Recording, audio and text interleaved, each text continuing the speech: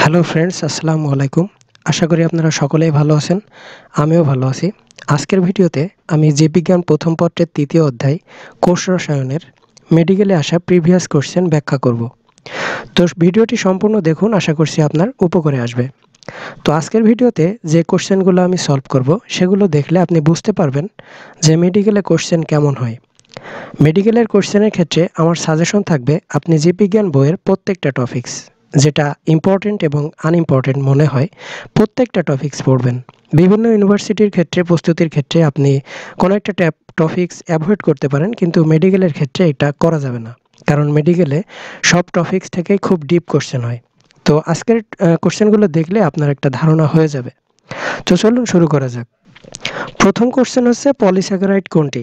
এখানে অপশন আছে fructose sucrose galactose cellulose তো প্রথম অপশন ফ্রুক্টোজ তো ফ্রুক্টোজ কোনো পলিস্যাকারাইড নয়, এটা একটা মনোস্যাকারাইড এবং এটা হচ্ছে কিটোজ মনোস্যাকারাইড কারণ কিটোন ফাংশনাল গ্রুপ ফ্রুক্টোজে উপস্থিত থাকে। পরবর্তী হচ্ছে সুক্রোজ সুক্রোজ একটা ডাইস্যাকারাইড গ্লুকোজ এবং ফ্রুক্টোজের সমন্বয়ে সুক্রোজ গঠিত হয়। গ্যালাক্টোজ গ্যালাক্টোজও একটি মনোস্যাকারাইড এবং সবশেষে সেলুলোজ তো সঠিক উত্তর হবে সেলুলোজ কারণ সেলুলোজ একটা পলিস্যাকারাইড এবং সেলুলোজ বেটা গ্লুকোজের পলিমার তো এটা হচ্ছে উত্তর। এখন পরবর্তী প্রশ্ন হচ্ছে, গ্লুকোজ কোন ধরনের যৌগ? অপশান আছে beta hexose monosaccharide triose polysaccharide এবং ডি হেক্সোস মনোস্যাকারাইড তো গ্লুকোজ হচ্ছে একটা মনোস্যাকারাইড তবে প্রকৃতিতে গ্লুকোজ দুইভাবে বিরাজমান থাকে, একটা ডি গ্লুকোজ আর একটা এল গ্লুকোজ।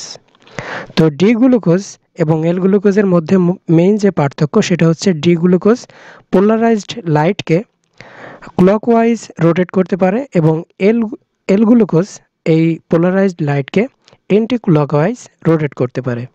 তো এখানে সঠিক উত্তর হচ্ছে ডি হেক্সোস মনোস্যাকারাইড এখন পরবর্তী প্রশ্ন হচ্ছে অ্যামাইলেজের প্রধান উৎস কোনটি? এটা বোঝার কিছু নেই, একটা মুখস্থ করার বিষয়। অ্যামাইলেজের প্রধান যে উৎস সেটা হচ্ছে উদ্ভিদ কোষ পরবর্তী প্রশ্ন মিষ্টি ফলে কোনটি থাকতে পারে? তো এটা খুব কমন একটা প্রশ্ন, মিষ্টি ফলে থাকে ফ্রুক্টোজ এবং ফ্রুক্টোজ থাকার কারণেই কোনো ফল মিষ্টি হয়।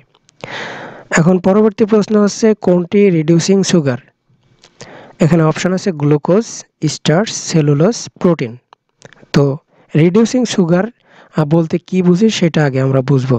তো রিডিউসিং সুগার হলো কোনো একটা কোনো একটা কার্বোহাইড্রেটের মনোস্যাকারাইড ইউনিট যেখানে কিটনমূলক অথবা কার্বোহাইড্রেটমূলক মুক্ত অবস্থায় থাকে এবং এরা যখন মুক্ত অবস্থায় থাকে, তখন বিজারক পদার্থ হিসেবে কাজ করতে পারে বলে এদেরকে রিডিউসিং সুগার বলা হয়। তো এখানে যে অপশানগুলো আছে, সেখান থেকে সঠিক উত্তর হচ্ছে গ্লুকোজ গ্লুকোজে অ্যালডিহাইড ফাংশনাল গ্রুপটা মুক্ত অবস্থায় থাকে।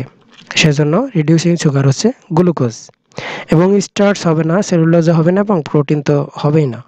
তো পরবর্তী প্রশ্ন হচ্ছে কোনটি অ্যামাইনো অ্যাসিডের কাজ নয়? অ্যামাইনো অ্যাসিড হচ্ছে প্রোটিনের মনোমার, অর্থাৎ অনেকগুলো অ্যামাইনো অ্যাসিড একসাথে যুক্ত হয়ে প্রোটিন গঠন করে। তো এখানে অপশন আছে গ্লিসারল তৈরি। দেহ গঠনে সাহায্য করা, আমিষ সংশ্লেষণে সহায়তা করা এবং ইউরিয়া তৈরি। তো এখানে যে সঠিক উত্তর সেটা হচ্ছে গ্লিসারল তৈরি। এটা অ্যামিনো অ্যাসিড করে না। তাছাড়া অন্যান্য যে অপশান আছে, দেহ গঠনে সাহায্য করা, এটা তো প্রোটিনের কাজ। আর অ্যামিনো অ্যাসিড হচ্ছে প্রোটিনের মনোমার, সেজন্য এই অপশানটা হবে না। আমিষ সংশ্লেষণে সহায়তা করা, এটাও হবে না, কারণ অ্যামিনো অ্যাসিড আমিষ সংশ্লেষণে সহায়তা করে এবং ইউরিয়া তৈরি। ইউরিনেশন প্রক্রিয়ায় অ্যামিনো অ্যাসিড ইউরিয়া তৈরি করে, সেজন্য সঠিক উত্তর হবে গ্লিসারল তৈরি। পরবর্তী প্রশ্ন হচ্ছে বিরল অ্যামাইনো অ্যাসিড কোনটি? এখানে অপশান আছে গ্লাইসিন, হাইড্রক্সিপ্রোপিন লাইসিন এবং হাইড্রক্সি লাইসিন তো সঠিক উত্তর হবে হাইড্রক্সি প্রোপিন কোনটি গ্লোবিউলার প্রোটিন নয়? অপশান আছে মায়োগ্লোবিন এনজাইম সমূহ হিমোগ্লোবিন এবং ইনসুলিন। তো এটা ব্যাখ্যা করার আগে আমি প্রথমে বলব যে গ্লোবিউলার প্রোটিনটা কি। গ্লোবিউলার প্রোটিন হচ্ছে যে সকল প্রোটিনের আকৃতি গ্লোবের মতো। যে সকল প্রোটিনের আকৃতি গ্লোবি, গ্লোবের মতো। তো এখানে বলছে যে কোনটি গ্লোবিউলার প্রোটিন নয়। তো সঠিক উত্তর হচ্ছে মায়োগ্লোবিন কারণ এইটা বাদে যে অপশানগুলো আছে, সবগুলো ক্ষেত্রে যে প্রোটিনের স্ট্রাকচার বা শেপ সেটা গ্লোবের মতো হবে। পরবর্তী প্রশ্ন হচ্ছে সবচেয়ে ক্ষুদ্রতম প্রোটিন কোনটি? অপশান আছে প্রোলামিন প্রোটামিন, অ্যালবুমিন গ্লোবিউলিন সঠিক উত্তর হবে প্রোটামিন। প্রোটিনে মোট কয়টি অ্যামাইনো অ্যাসিড পাওয়া যায়? প্রোটিনে মোট কয়টি অ্যামাইনো অ্যাসিড পাওয়া যায়? অপশন আছে আটটি, বিশটি, ছাব্বিশটি, চৌষট্টিটি। সঠিক উত্তর হবে বিশটি। এই প্রশ্নটি খেয়াল করুন, প্রোটিন গঠনের প্রকারভেদ নিম্নের কোনটি? তো প্রোটিন কয় প্রকারে গঠিত হয়? সেটার অপশন আছে ছয়, পাঁচ, চার, তিন। সঠিক উত্তর হবে তিন। পরবর্তী প্রশ্ন হচ্ছে সরল লিপিডের উদাহরণ নয় কোনটি? অপশন আছে চর্বি, তেল, মোম, রাবার। তো তেল, চর্বি, মোম স্নেহদ্রব্য এগুলো সবই সরল লিপিডের উদাহরণ। শুধুমাত্র রাবার এখানে উদ্ভূত লিপিড। তো সঠিক উত্তর হবে রাবার। রাবার, তারপিন, এগুলো এগুলো উদ্ভূত লিপিডের উদাহরণ। পরবর্তী প্রশ্ন হচ্ছে কোনটি এনজাইমের বৈশিষ্ট্য নয়?